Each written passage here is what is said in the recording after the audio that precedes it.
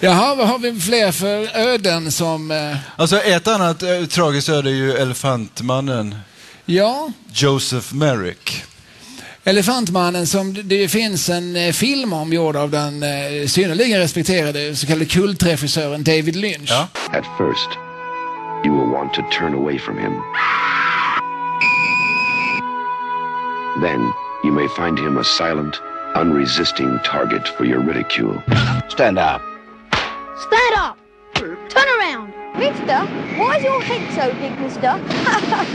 Ett kuriosum om den filmen är ju för övrigt att den är producerad av Mel Brooks.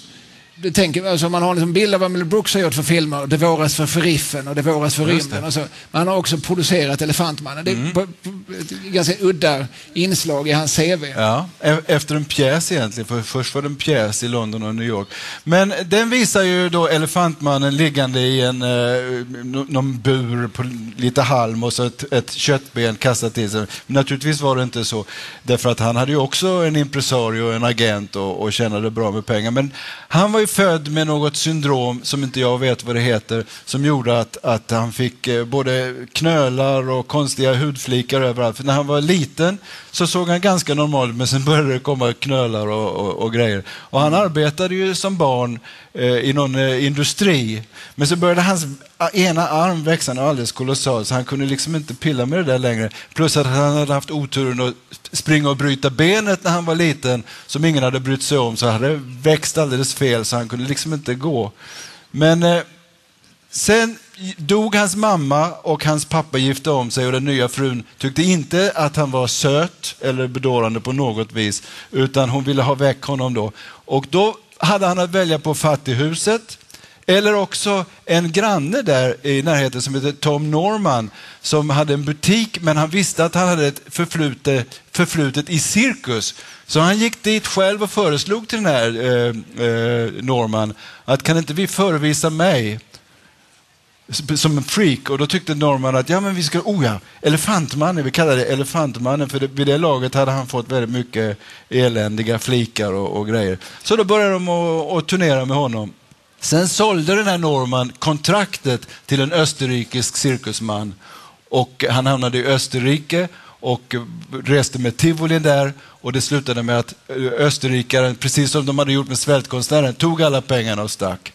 Så då försökte han ta sig tillbaka till London. Han kunde inte vistas ute bland folk för att folk blev ju alldeles, det blev ju kravaller där han kom för han såg så hemsk ut.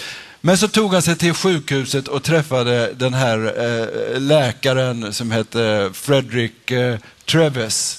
Mm. Som var faktiskt eh, kallas för den, svensk, den eh, engelska kirurgins fader. Han förbarmades över honom så han fick bo resten av sitt liv där på London Hospital och han blev eh, väldigt populär bland societeten därför att det blev populärt att gå och hälsa på honom och sitta och prata med honom. För jag antar att han hade fått någon slags märklig ödmjukhet utav hur livet hade behandlat honom efter alla, alla lidanden. Så att drottning Victoria var och hälsade på honom och, och kungen och han fick ett väldigt god ålderdom kan man säga därför att han var så glad över alla människor som kom och hälsade på honom och att han fick julkort varje år ifrån kungen och drottningen. Vilken märklig historia. Ja, det är ja, men jag sitter och funderar på vad det var som var attraktionskraften. Varför, varför ville den, eh, den brittiska överklassen gå och uh, hälsa på honom? Det måste, mina fördomar då, om jag är lite cyniskt lagd här, och vi bara ponerar, uh, det är ju att de därigenom visar, titta vilka goda människor vi är som, som, som, som umgås med den här udda figuren. Mm.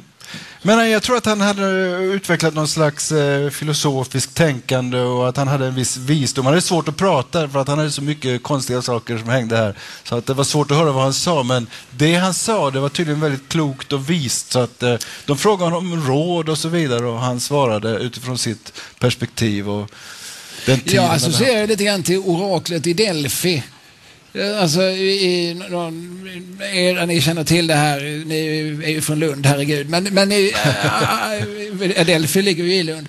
Men det ligger också i det gamla Grekland. Och där fanns ju den här kvinnan som, eh, som man eh, lät inandas diverse narkotiska preparat om det inte var så att hon redan liksom var psykotisk i, i botten. Hur som helst så, så svarar hon ju väldigt dunkelt. Ja. Och sen så var det ju fanns det någon där i, i mellanledet som, som tolkade henne. Ja, det här ja, var vad hon egentligen mm. menade.